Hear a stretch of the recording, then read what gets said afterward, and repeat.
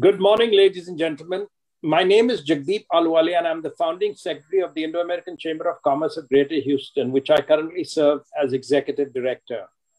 Join me in thanking Gabriela Zambrano, Nora Nobel-Christoff, Naomi, uh, Igambi, Rupesh Sanghavi, and Suhrid Thacker for sharing their knowledge and experience. I want to start off by introducing our Chamber Executive Committee, our board, our directors at large, and our advisors. Today's webinar will be recorded and the recordings will be shared. We are also live on Facebook through the Chamber's Facebook account and through the accounts of several of our partners. Uh, and we encourage you to share on your Facebook if you're logging in as an attendee. We thank our co-hosts for today's event. And we want to thank the Minority Business Development Agency, which is our co-host today, and our partners, Club 24, Houston Community College, Houston District Export Council, the Houston Minority Supplier Development Council, TiE Houston, the US India Chamber of Commerce, Dallas Fort Worth, and the World Trade Center, Mumbai. We are proud to be serving the business community for over 20 years, and we work closely with our sister chambers and associations. On behalf of the Chamber, we thank our partner organizations who help promote today's event, our community partners, and our media partners. We want to thank our long-term sponsors whose support help us to continue to serve the community. These include Brask Inc., LyondellBasell, Piping Technology, Shipcom, and Foster Global. And we want to recognize Shell for supporting our Women Mean Business and Shell Distinguished Lecture Series. I would now like to invite the president of the chamber, Tarush Anand, to uh, make the welcome remarks. But before I do that, I'm proud that the chamber is hosting today's event. And we are giving you both sides of the story. Naya and the speakers from Houston will be telling you the benefits of exports. But we have two practitioners uh, who are clients. Uh, one is a member of the chamber, the other is a client of the Department of Commerce, and they'll be sharing their stories. And I would encourage everybody to listen to what they have to say because they have gone through the process. And I have a saying that as a businessman, I remember living in Texas when I tried to do business in Tulsa, Oklahoma, or New Jersey. The culture and things were different. So when you're doing business with a country which is on a different time zone, a different culture, uh, 24 hours to get there, you have to realize you have to be very patient uh, in your efforts. You have to be very persistent. And today's program will not only tell you what you need to do, but it will remind you through the voice of our two business owners on what they did to succeed. With that, I come back to inviting the chairman of our board, the president of the chamber, Tarush Anand, uh, to make the welcome remarks. He is a fellow of the Litigation Council of America, Trial Lawyers Honorary Society, composed of less than one half to 1% of America's lawyers.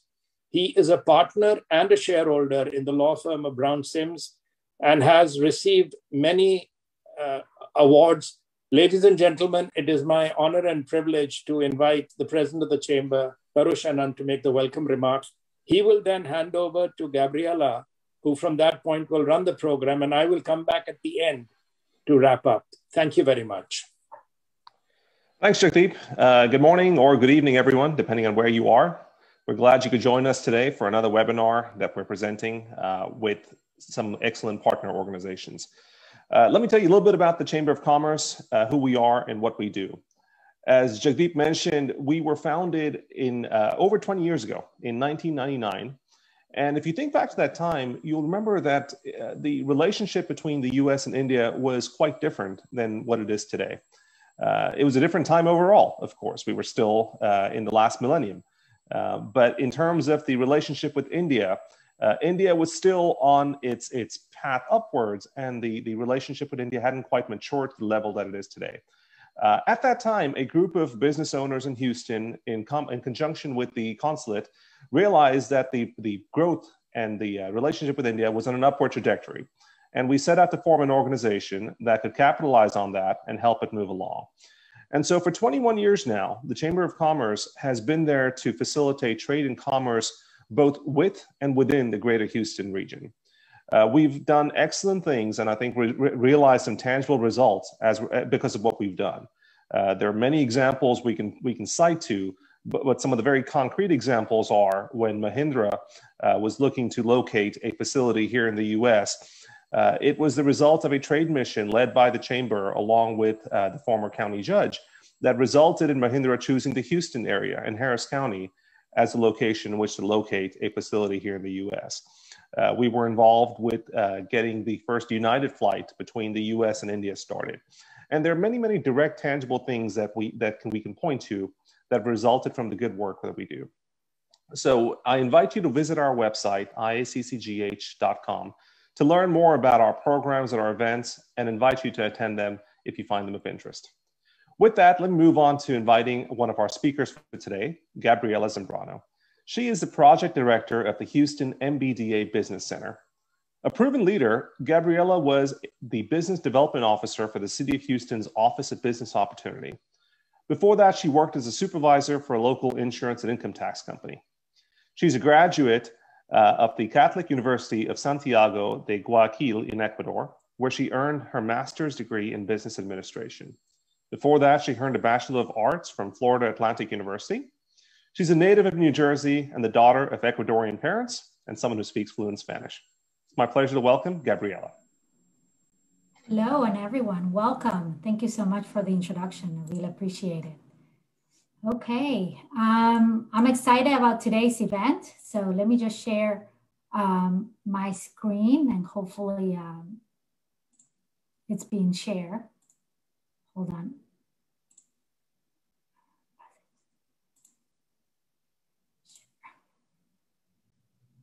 Hmm. My name is Gabriela Zambrano, and I'm the director of the Houston MBDA Business Center. MBDA stands for Minority Business Development Agency, and we're the only federal program tasked to help and grow existing minority owned businesses. Our vision is economic prosperity for all American business enterprise. We assist our clients by providing access to local and global markets, one on one business consulting service, and invitation to trainings and events. Uh, here in Houston, we're operated by Houston Community College, and I would like to introduce my colleague, Mark Prague, Adija Sutton, business advisors, and Jessica Vasquez. If you want to learn more about us, send us an email at mbda at hccs.edu. Now, today I'm the moderator of this event, and like Jagdip said, we have incredible panelists we have two people that are coming from the public sector who are going to tell us what's going on, and then our business owner who are success in what they do regarding um, exporting um, products to India. Um, so the event will go, each panelist will introduce themselves and then make a presentation, and then at the end, we'll break into questions and answer. So the first panelist is the director of the U.S. Commercial Service, and that is Naya Igambi. And if you plan to uh, um, expand your company abroad, Naya is the person to know. Ladies and gentlemen, please welcome Naya Igambi. Good morning and good evening, everyone. Thank you, Gabriela, for that um, introduction. Uh, I would also like to thank the Indo-American Chamber and MBDA for the opportunity to speak to the, today's program. I am Nyamusi Igambi, uh, Director of the U.S. Commercial Service Office here in Houston, and I'll get to uh, more detail about what our agency does. But I do want to applaud you for attending today's program. If you are currently um, engaged in trade to India, congratulations. And if you are highly interested in engaging in trade to India, uh, I applaud you for being here and taking advantage of the dynamic panel today. Uh, next slide, please. India is a key trading partner for the United States. Um, in 2020, they were ranked 11, down just two slots from uh, 2019. Overall trade to uh, between U.S. and India was totaled at 80 billion um, dollars, and now we expect those numbers to trend upward as we come, as we build back from the pandemic. I will tell you that overall trading, uh, including exports and imports between the two countries, um, included agricultural products, mineral fuels, precious metals, um, machinery, organic chemicals, and just a slight difference where the US has exported uh, aircraft to India. Today, in the brief time that I have, I just really want to highlight the tools that the US uh, Commercial Service, as part of the um, US Department of Commerce, has for, for US companies to export to India. Um, also, I want to highlight um, why exports matter. Um, when we're talking to companies about export opportunities, we really want to focus on helping them diversify their client base, especially when 95% of consumers live outside of the US. The U.S. Commercial Service is part of the U.S. Department of Commerce International Trade Administration, and we're headquartered in Washington, D.C. We have 100 field offices, and I'm located typically downtown Houston in the Mickey Leland Federal Building.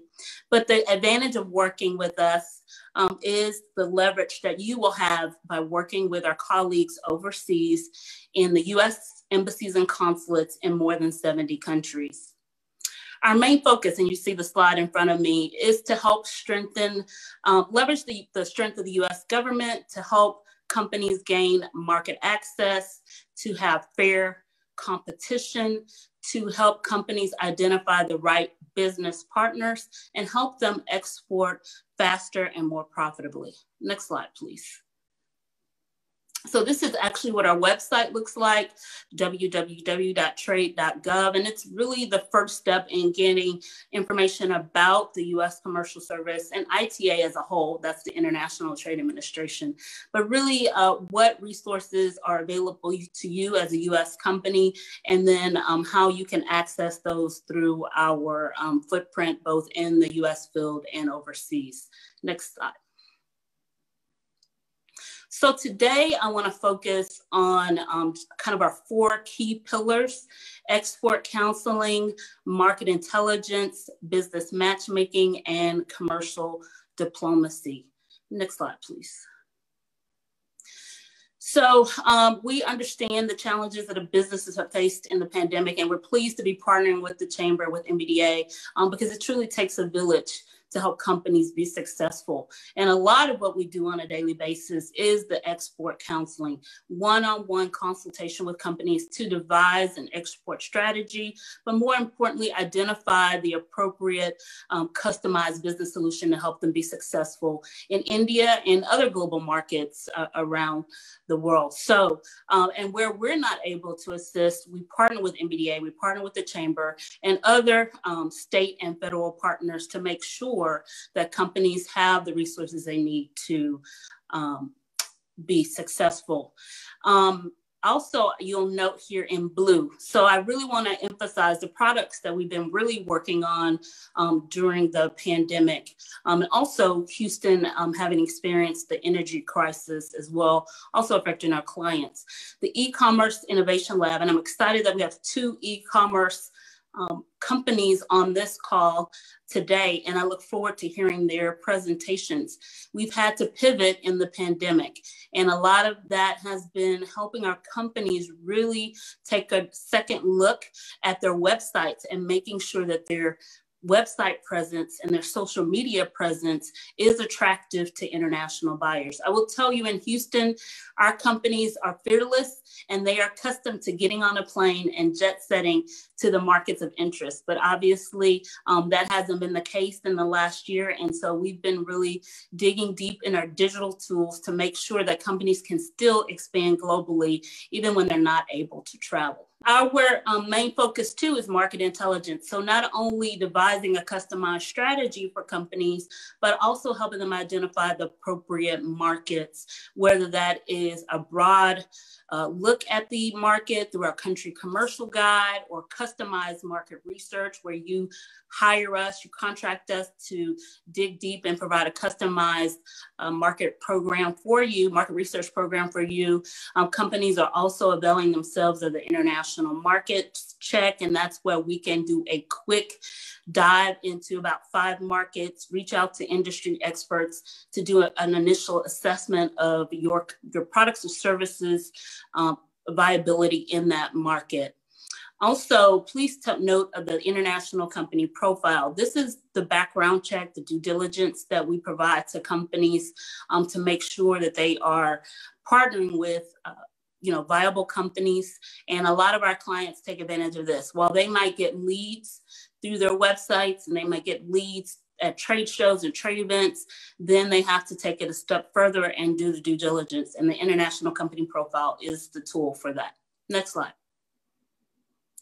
Really, truly, our added value is the business matchmaking, and you're leveraging US government resources in country to identify appropriate partners. And we also work with Chamber and the MBDA to, to ensure that um, companies are reconnecting to the right resources. And I'm excited that um, our state of Texas partner is on board and she's going to talk about a program that helps you uh, fund some of these services. Highlighted in blue are single company promotion and our international partner search.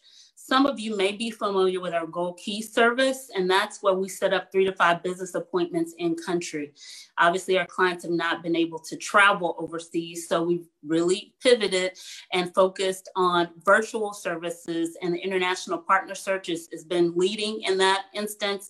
And then, as companies are looking to be more creative, they're leaning into that single company promotion where we will customize a program for your uh, your company, your product, your service. So it could be anything from a, a breakfast briefing to a lunch meeting, a technical seminar, or even a reception at a consul general's home overseas. So lots of companies are looking increasingly at the single company promotion. Next slide. Um, we look forward to engaging um, trade events in the future.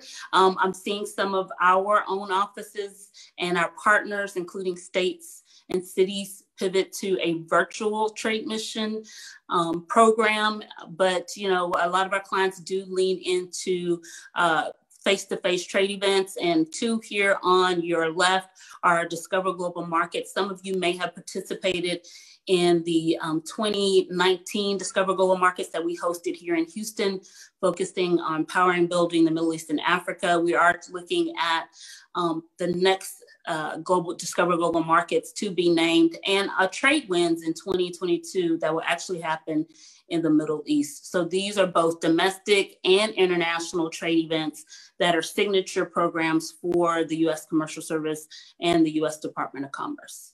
But um, just before we leave this slide, why trade events matter um, for us is that we typically will not only staff US pavilions and overseas trade shows, but we also recruit international buyers to domestic trade shows. For example, one of our key programs in Houston is the Offshore Technology Conference. In years past, um, as recently as 2019, we've um, recruited over a thousand international buyers from 40 markets to meet face to face with US companies, both exhibiting and attending OTC.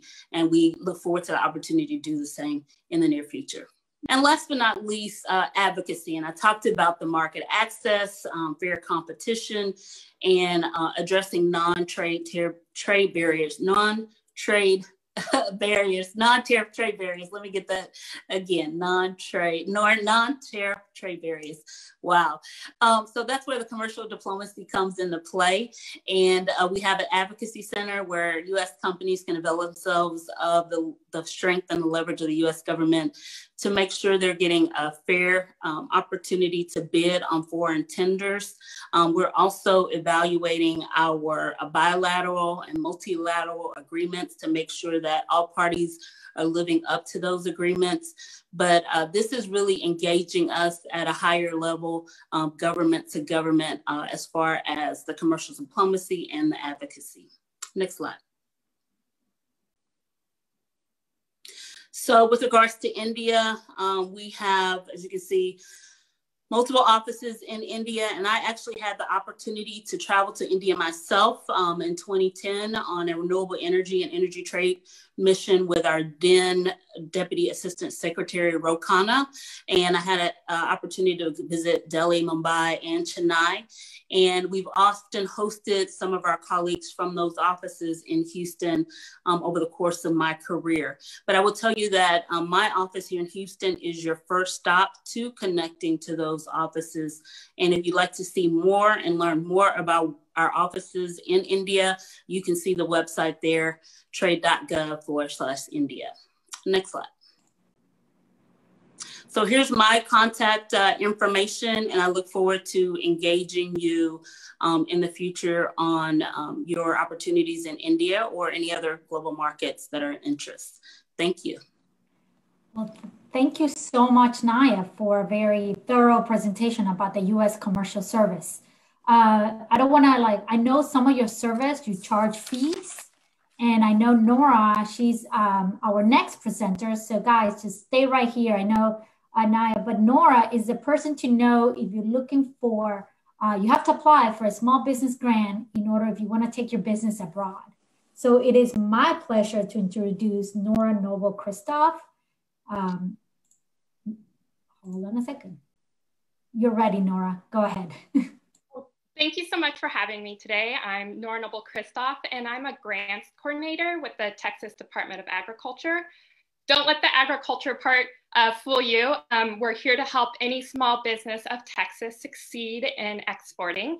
And we do that through the State Trade Expansion Program, commonly known as the STEP program, which is administered by the US Small Business Administration.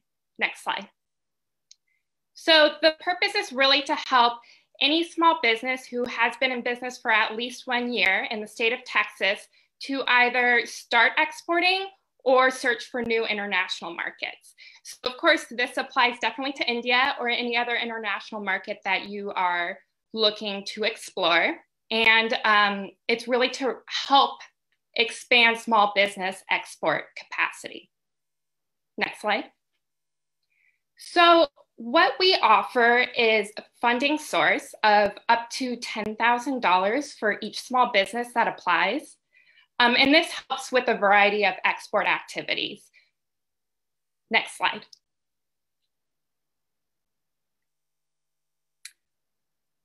So as Naya went over, uh, this, these stipend activities that we cover um, include the US Commercial Services Programs which is kind of an excellent opportunity to kind of get your feet wet, figure out what market you really want to explore, and have them kind of do the groundwork for you.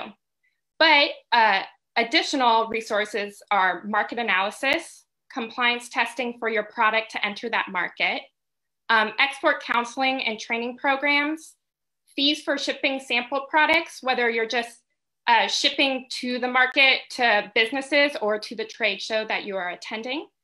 Um, as of now, we don't have any state coordinated trade shows at the moment. That might may, maybe change after COVID.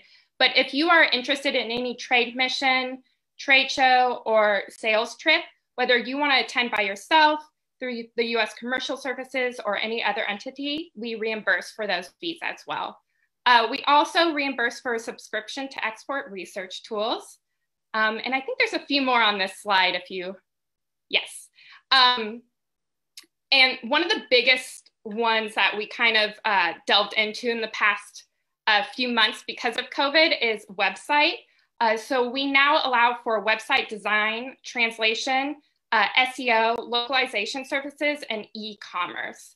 So you could use the full amount of your award on these activities uh, and also for design of marketing media. So this is placement of ads in international magazines, uh, web ad, ad, oops, web ads, um, social media ads, um, or if you're making any brochures uh, for international markets or trade shows, that's allowable as well. Um, if you are awarded, uh, there are some limits to these amounts that you could spend with your award.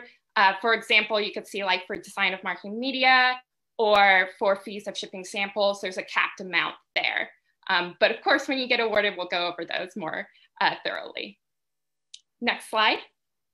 So um, for application of the STEP, um, we are currently closed. However, we are opening up in May for um, two options. We either are going to have a short option available where you actually can get awarded sometime in May and spend it uh, in three months' time, which I know is really short. But if you have anything like website or design of media that you're kind of looking to do, that might be a good way to spend those funds.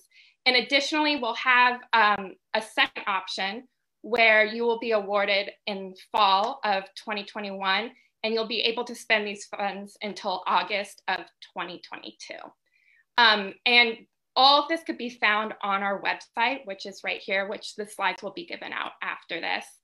Um, but if you have any additional um, questions or want more information on the service, uh, feel free to give me um, a call or email me, which is uh, my contact information is on the next slide. Um, but yeah, that is my presentation on the STEP grant. And if you have any more questions, feel free to contact me. Okay, Nora. So I know we have a lot of people registered from everywhere. Since this is from the Texas Department, are these only businesses that are in Texas that can apply for this grant? Yes, that's true. However, the Small Business Administration gives out these grants to most states. Um, not all states, I believe right now 48 of them have that available. Um, most of the time, it's not the Texas Depart or not the, the Department of Agriculture that gives it out. Usually, it's the state's economic development agency that gives them out. So if you're in a different state, just reach out to your economic development agency, and most likely they will have this program. It might be run a little bit differently, but um, most of the activities are still um, allowable that I went over. All right, thank you. Okay, we're gonna go to our next uh, participant, and then at the end, hopefully people are gonna start writing their questions in the Q&A. Uh, so our next participant is Rupesh Sanghavi, he's, and he's the founder and CEO of ErgoE. Um, he's, he's actually a graduate with a master's in chemical engineering from TAMU in 2000.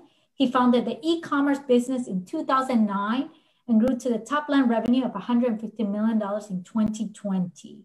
Uh, ErgoE is an online retailer where they sell general consumer merchandise like toys, electronic, beauty books, pet products, um, and so forth, using their websites and marketplace platforms like Amazon.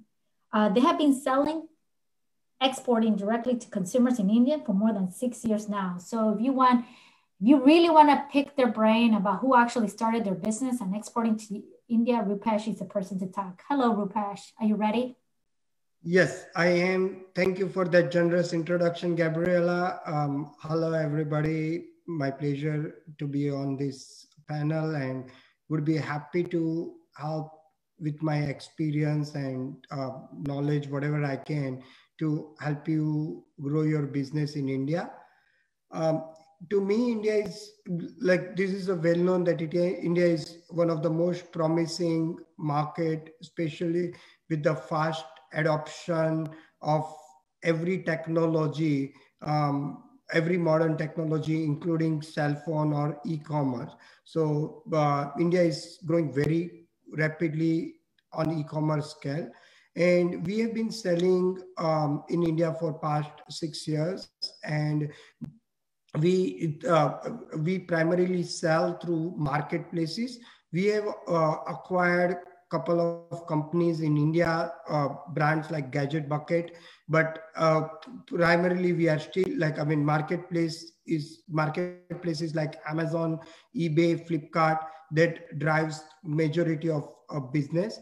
And we, uh, we also sell some through B2B channels, but it is uh, relatively in single digit percentage.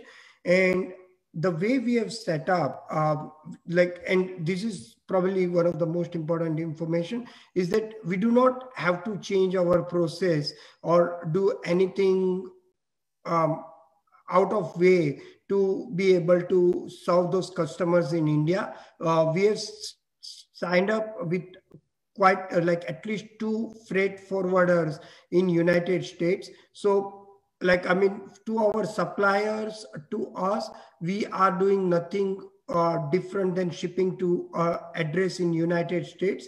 And with like with maybe sending them one excel file. So freight forwarders are the ways to go where you don't have to deal with shipping directly to india but you can use an intermediate step like freight forwarder to serve customers and um, i can go in more detail on that that how we do it and they obviously deliver anywhere in india they deliver packages duty uh, duty and taxes prepaid. So when customer gets the product, they don't have to shell out any extra money than what they committed at the time of purchase.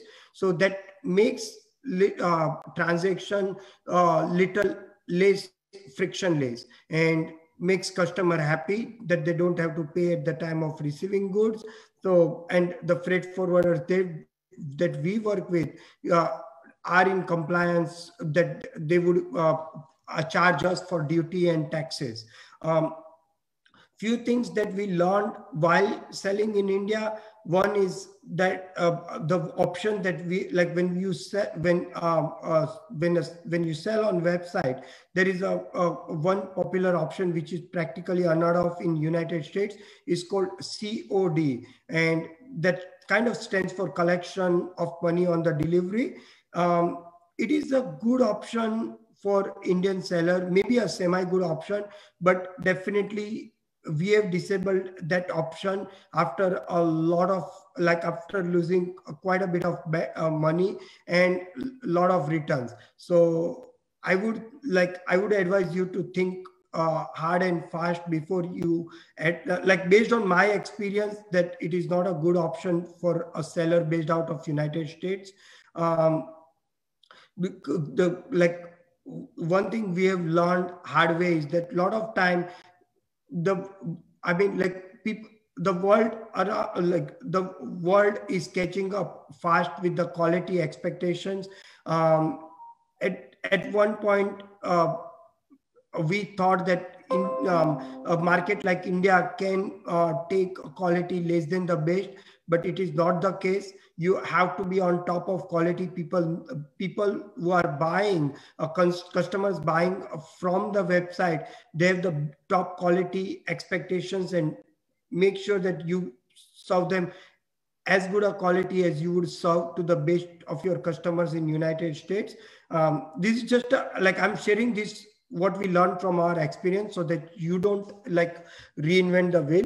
Um, the other one is spread your listings and inventory to many marketplace in us uh, amazon is by far the biggest marketplace when it comes to market uh, biggest marketplace.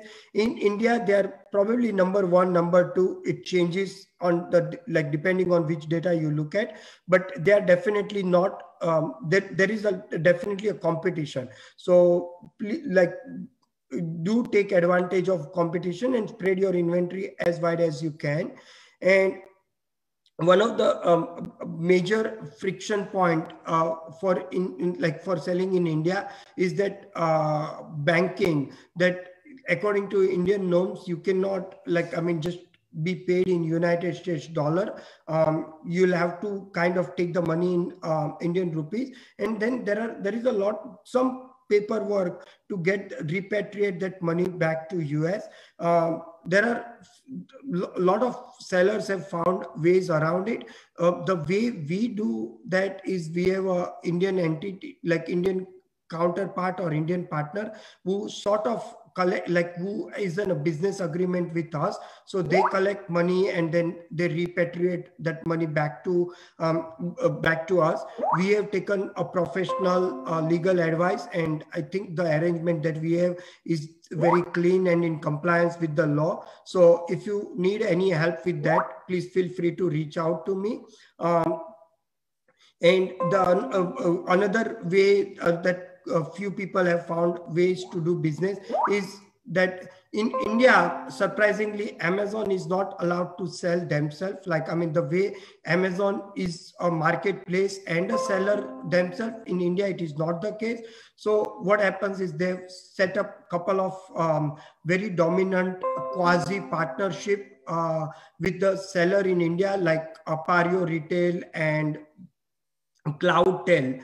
So quite a few sellers that I know uh, they want to sell uh, direct to consumer. They sign uh, they have a partnership with them so that those retailers a quasi amazon retailer takes the inventory and then they in turn sell it. But they might limit you only to amazon. So if you want to sell inventory across all the marketplaces or on your website maybe you need a partner there. Uh, on the marketing side um, like it is kind of uh, what I've seen and studied over uh, time is that focus on emotional leaning marketing. Uh, it really appeals to the customers a little bit more. Um, if you are a brand owner, uh, try to use uh, tools like WhatsApp, Facebook. And most of us may be familiar with those tools like WhatsApp, but it is very, very predominant in India. Um, and if your video happens to go viral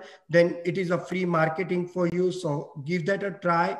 Um, like all the traditional and digital forms of marketing works very well in india um, as as far as our experience. And one thing that is insightful is india is still very very big on newspaper. The circulations has going up unlike most of the developed part of the world. So do explore that option of place, placing your advertisement in targeted market or with the targeted audience if you are a brand owner. And um, the best part of India is that India, uh, I mean, English is wide, widely accepted, and uh, so you you may have to you, you may be able to reuse most of your marketing material or do little bit of adaptation. So with that, um, I've presented uh, my experience in few minutes I had, uh, but feel free to reach out to me in the uh, in this uh, webinar or afterwards and i would be happy to help you in every way possible to get you set up on uh, selling in india thank you well thank you rupesh that was a great i have a lot of questions but i don't want to ask i'll wait until the next um, small business owner and he's actually all the way in india his name is suri thacker thacker um, Mr. Suri is the managing director of Catalyst CPG Consultants. Suri has over 10 years in the retail and consumer products goods industry in US and Indian markets. Uh, Catalyst is a consulting firm with a wide array of services to help domestic brands and international brands in being a strategic 360 degree e-commerce partner in the booming Indian subcontinent. Uh, Suri, are you there? Are you ready? Yep, I'm here. Okay. Thank you, Gabriela, for the for the introduction. Thank you to everyone and the uh, Chamber of Commerce and the U.S. Consulate based out of India. That's kind of uh, given me the opportunity to speak to you guys. Uh, it's an e-commerce heavy panel. I'm going to jump into a few things. Um, you know, India is a very promising country, but it's people call it a country. I think it's a continent. It's uh, it varies so much by region to region, from north, south, east, and west. Um, we are probably one of the fastest growing, you know, consumer company as well as the growth of just internet spreading across the country. Adoption of like shopping online has gone significantly higher. Uh, basically, COVID has been a catalyst to kind of uh, accelerate people to move on to shopping online, and that has been fantastic for us. Um, the, my biggest recommendation you can see a flurry of funds and a lot of uh, initiatives by US companies, uh, you know, spending a lot of money to come into the Indian market. Jeff Bezos is like probably the biggest testament to that. He spent, he keeps spending every year. He has a budget of at least three to four billion dollars to invest into Amazon India. And to piggyback off that, you know, one of the biggest things I could like tell any business owner that is conscious about how they're going to spend money, uh, you know, while entering a new market. Uh, I think Amazon is one of the best places to go to because the system is the same across the globe. And you know, when you're finding the right partner, you're looking to find trust, and you're, you're looking to find validation. Obviously, you know, the Department of Commerce is going to find you the best partner possible. But to you know, just so that you don't have to second guess yourself or have any doubts while entering a new country, as Jagdip mentioned earlier on, there's a lot of hurdles that you have to jump in India, but Amazon is transparent. it is common across the globe. The systems are same across the globe, and it's easy to understand, right? So I would always say your go-to-market should be via Amazon.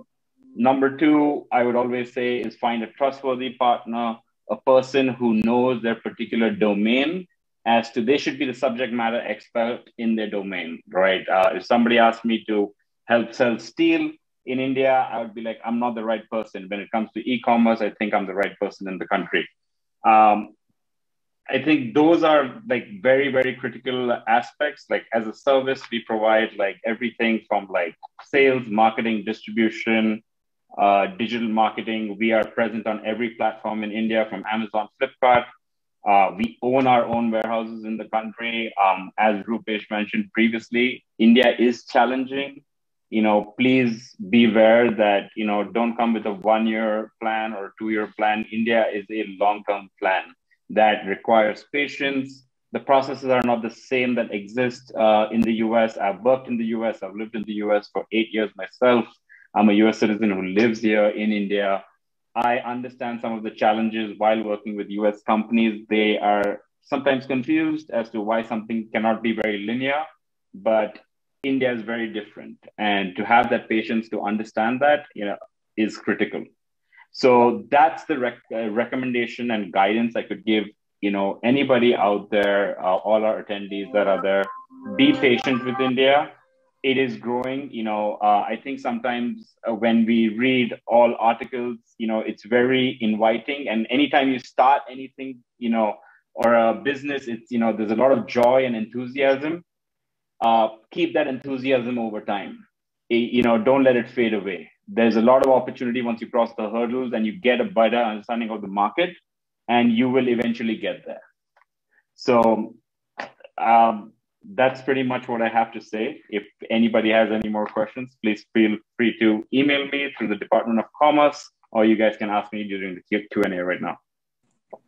Well, Suri, I really appreciate this, and I really re appreciate Rupesh talking about that India is not monolithic. It has a lot of uh, cultures, and very, and this is where I think Anaya comes into place because she's with the U.S. Commercial Service, and like she stated, she has different companies, so um, she can help you. Uh, I mean, yes, contact Rupesh and of course Suri if you need help.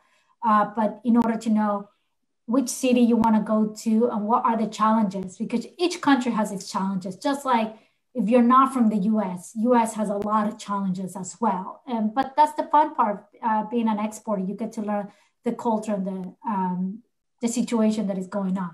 Okay, so I have a lot of questions and I'm gonna try and hopefully all of you are gonna be able to answer my questions.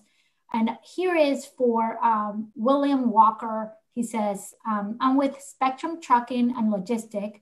We transport products on all type of trucks and trailers. Are there any opportunities with your program for our business?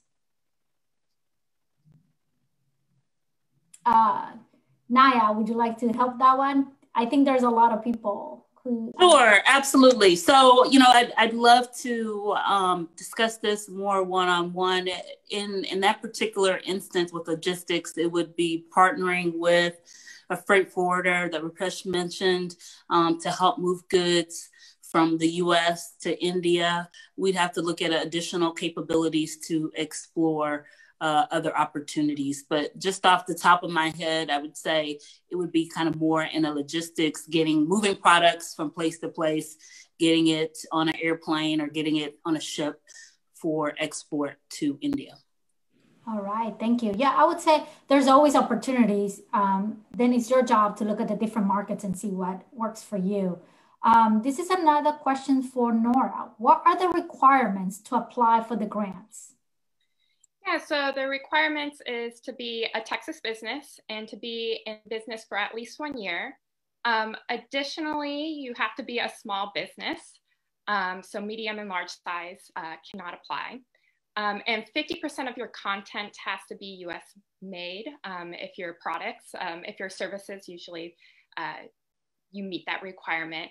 And there are a few businesses that we do not allow in the grant, and that is uh, law firms, real estate agencies, some educational services, um, and insurance. But other than that, pretty much everything is a, a valid business besides those. Wow, Nora. Well, I have another question, and I you kind of touched on it where it says, what about non-product services like consulting services eligible to participate in trade mission, step, and stipend activities?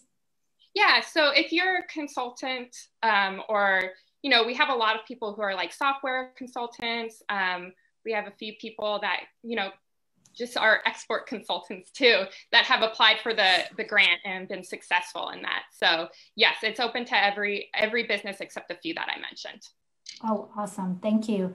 And actually, I want to piggyback on that and, of course, promote MBDA Business Center. If you're a client of MBDA, uh, one of our business advisors actually help you go through the STEP grant uh, situation. So feel free to reach out to us if you want to learn, if you need help. I mean, as Nora says, it doesn't open till May, but we have time to work through it. Uh, I have another one that says, I usually think about importing from India. It sounds like India wants consultation services like quality. What else would India want from the US? Um, Rupesh uh, or Suri, do you think you can answer that question? Um, yeah, sure. I can uh, take a stab at it. I, if I got the question right, is uh, what else would India would like to import from the US? So uh, this is a wide area of products. It's a very broad uh, statement. But when it comes to consumer goods, you know, a lot of brands currently want to enter the Indian market uh, because they see the boom in e-commerce and the adoption. Uh, that is one of the uh, you know big avenues. I may talk about like another avenue, which is like uh, you know food and certain grains. You know, it would be very surprising. A lot of grains as well come in from the U.S. into India. Um, those are it, the, the market's wide open. And, and when you're looking at retail and if you're looking at entering a brand in this country, um, the, you know, and it exists on Amazon in the US and it's fairly well priced, the opportunity exists out here.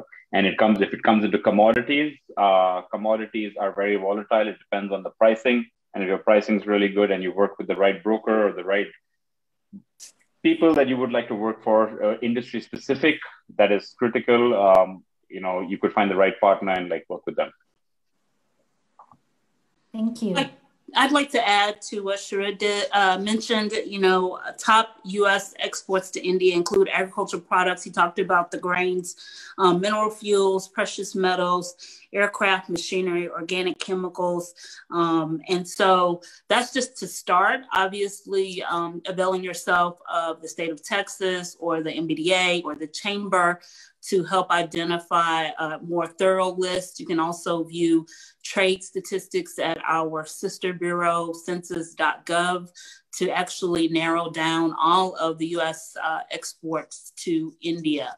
My, my advice would be working with one of the partners here online to actually devise a plan and kind of hone in on where you um, will build your business. Um, we always say the world needs everything, so what can you offer. So kind of narrow down your focus um, to one or two products. If you don't manufacture those products, have the ability to purchase or enter a distribution distribution agreement for those products and then go into the market.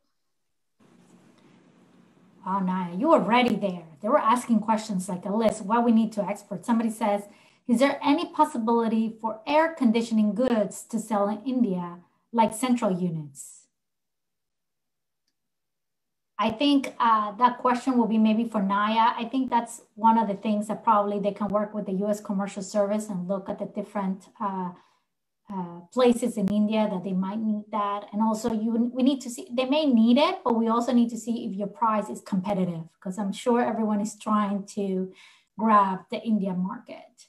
Um, I have a question here where it says, with this being a chamber of commerce, are there also opportunities to network with other business owners and entrepreneurs?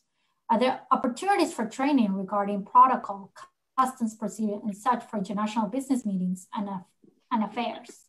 Um, I don't know, but I know that um, Naya, you have the Gold Key service, is that correct? And you have other networking events that you work with in order for uh, business owners to network and learn about the different uh, protocols?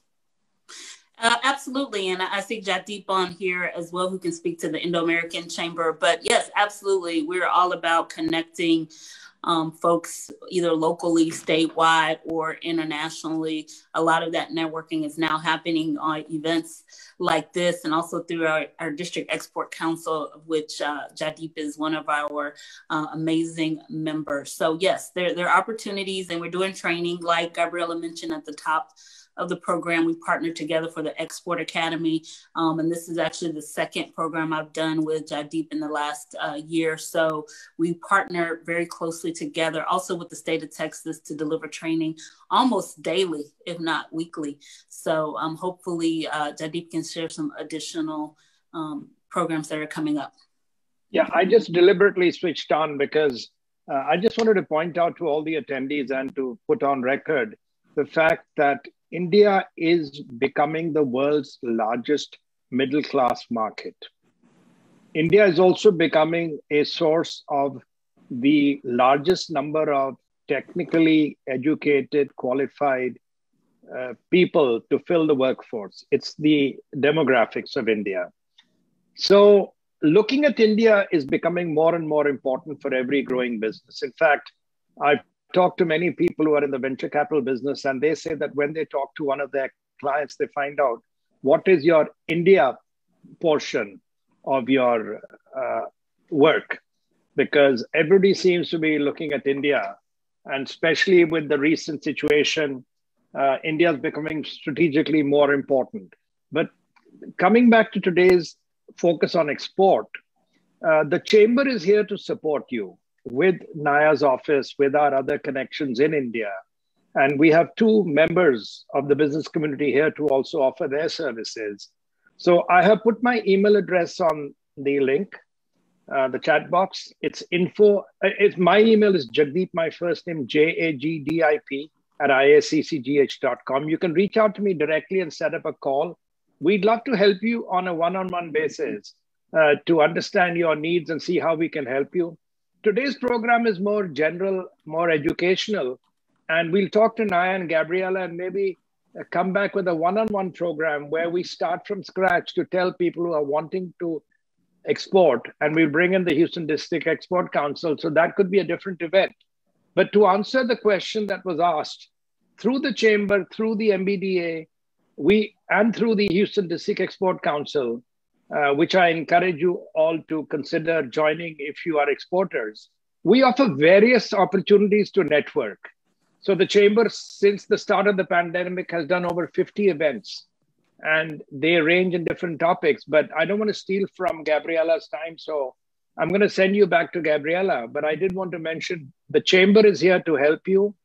Uh, again, my email is jagdip, at iaccgh.com. You're welcome to reach out to me and we are here to help. Thank you. Back to you, Gabriela. No, Jagdip, I appreciate this whole point is to educate people and to give us, you know, right now with COVID and us being working here, I encourage all of you to send us an email, to text you. I know that if you are part of the MBDA clients, you'll receive the PowerPoint presentation, or if not, you can send an email to info I also want to say if you want to reach out to mbda at hccs.edu, if you need to get in contact with any of the speaker, we'll try to make sure to connect you with them as well.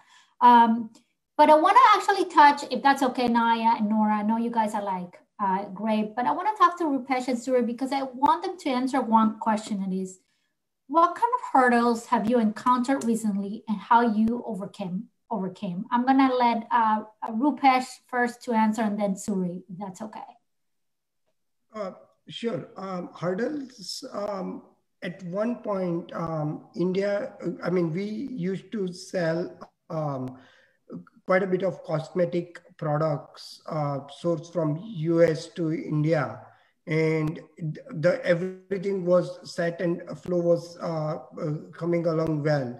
Um, at one point, um, some rules changed or some something happened, and most of our shipments were stopped at the like uh, stopped at the customs uh, because uh, they wanted some kind of a compliance certificate.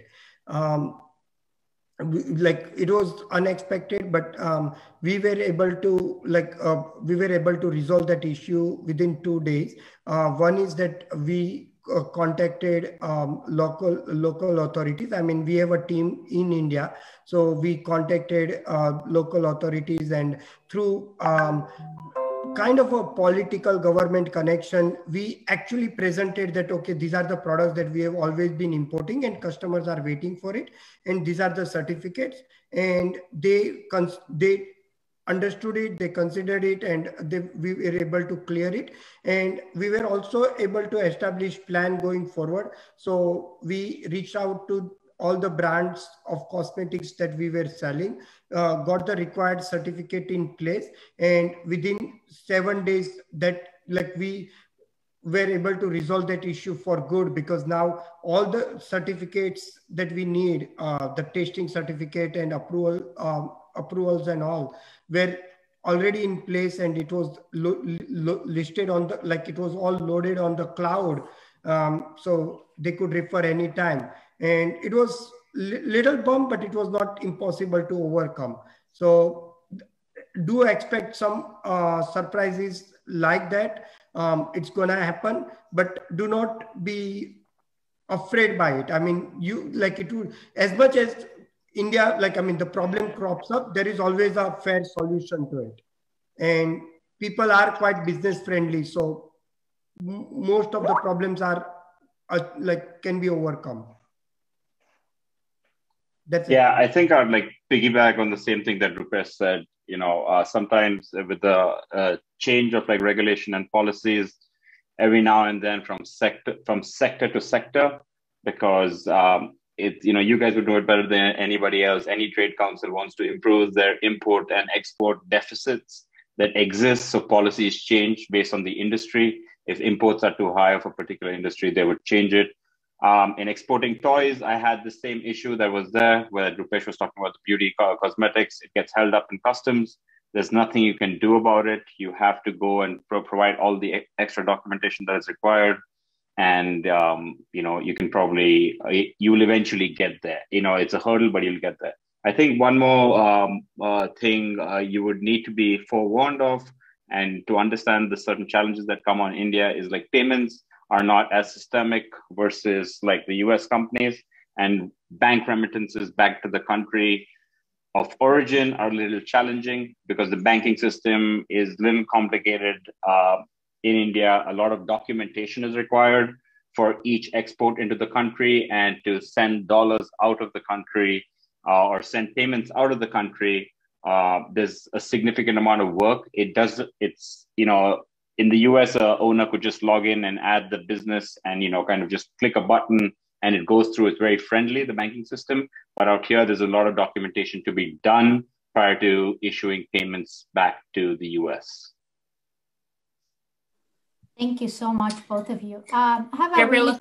yes sorry, before you go on to your next question, I do want to add a few comments. So thank you, Rupesh. Thank you, sir, for your comments. And that just highlights um, something that I mentioned in my presentation, the non-tariff uh, trade barriers, the changes and regulations, changes in policy that sometimes happen overnight can have a significant impact on, on uh, trade between the two countries. And that's something that we at the commercial service and the Department of Commerce are constantly monitoring and, and companies will also always, you know, or can reach out to us um, for assistance. Um, you know, we have bilateral conversations with customs officials and the different ministries um, in India and other markets. You also highlight the importance of having a local partner. Rupesh said it happened quickly um, because he had boots on the ground. And that's what we always advocate that companies, especially starting off, find a, a, partner to be on the ground to represent their interests. They also speak the language, they're in the time zone, they know the culture,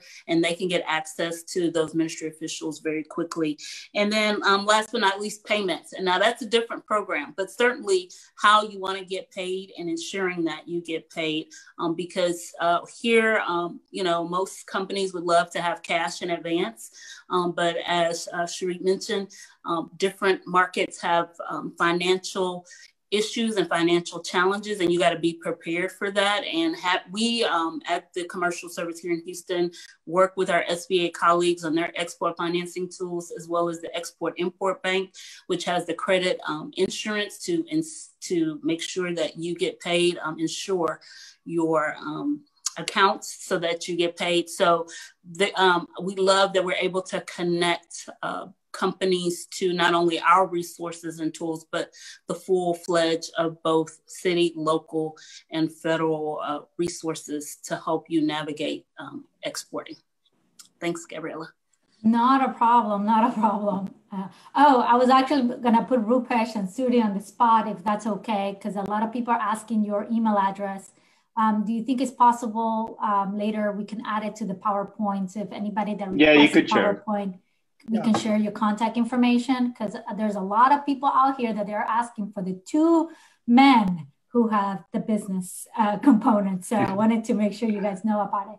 Um, uh, I would rec, uh, Gabriela, I would recommend anybody who wants their email address should reach out to you and I because we would also like to know who's reaching out to our speakers and oh, oh, let no. us let us let us compile those email addresses and send them on so we also have a connect with those speakers so uh, my suggestion is anybody who wants to connect with both of our speakers uh, reach out to both gabriela and the chamber my email again is jagdip at iaccgh.com she's already shared hers and we will put together all your emails and forward them to both of them so that they can connect with you i hope that's fair yeah, no, no, that's fair. But I mean, I still you use Rupesh and Suri if somebody reach out to me. But thank you. Right. Uh, the other question is, we are actually at the ending time, but do we have the ability to go a little over? I would like to cover as many of the questions as possible. So uh, I'll let you decide. Okay. Uh, I have. I'm, a, I'm a little. it's mid. I'm a little sleepy. It's midnight. So you can roll off if you want to. Thanks a lot but we can carry on. Thanks a lot. I'll I'll stay for five minutes and then I'll probably sign off. Thank you. Yeah, Perfect. I, I think I think after we can stay for five more minutes. Uh, but I have yeah. a lot of questions here where they say, um, I'm from India. I would like to get in touch with US firms into importing products for passive fireproofing. Where can I register for sourcing such interested uh, US firm? I think uh, the best thing will be to get in touch with the Chamber of Commerce. I think they have a lot of access to even US companies that are looking to um, have any relationship with India just send us your contact information. The next question, I'm gonna try to go quickly on this. And on our portal, companies put their projects, talk about the product for which they're looking for distributors. And not, well, somebody's just doing promotions. And all of the connections are made free of cost. I really don't know. Um, I have another one here that talks about um, sorry. Uh, so Nora, are there opportunities to export service such as leadership training for professional at the workplace and youth in the school system? So if there's specifically a company that's doing the specific um, like youth leadership, that would probably fall under the education and not be an eligible business. Okay. Thank you so much. And then Naya, you talk about market research analysis. Does that include potential competitors and barriers to entry?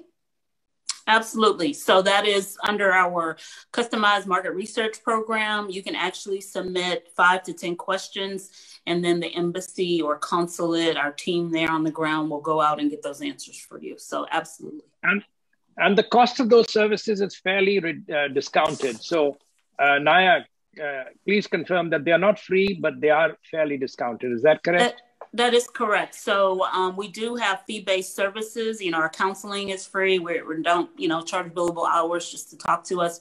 And most of our market research is free. But if it's customized for your particular company, um, say the matchmaking services or the customized market research, those are fee based and um, they're based, um, the fees are based on the size of your company. I'm happy to talk about that offline um, about your individual needs. And of course, I always encourage folks to apply for the STEP program because those grants can cover our services.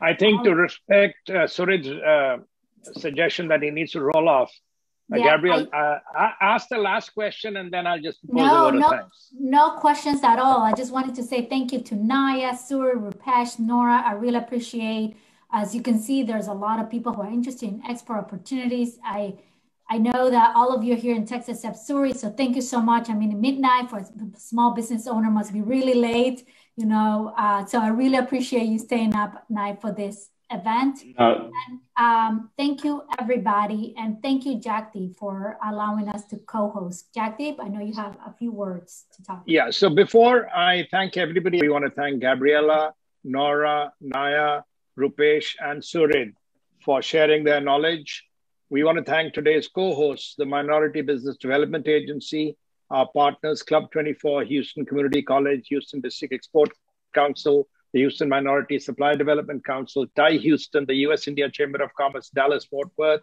World Trade Center, Mumbai. And also, I want to thank our sister chamber, Poonam Buraya, who is the president, is on the call uh, from uh, Denver, Colorado. So thank you, uh, Poonam, for joining us.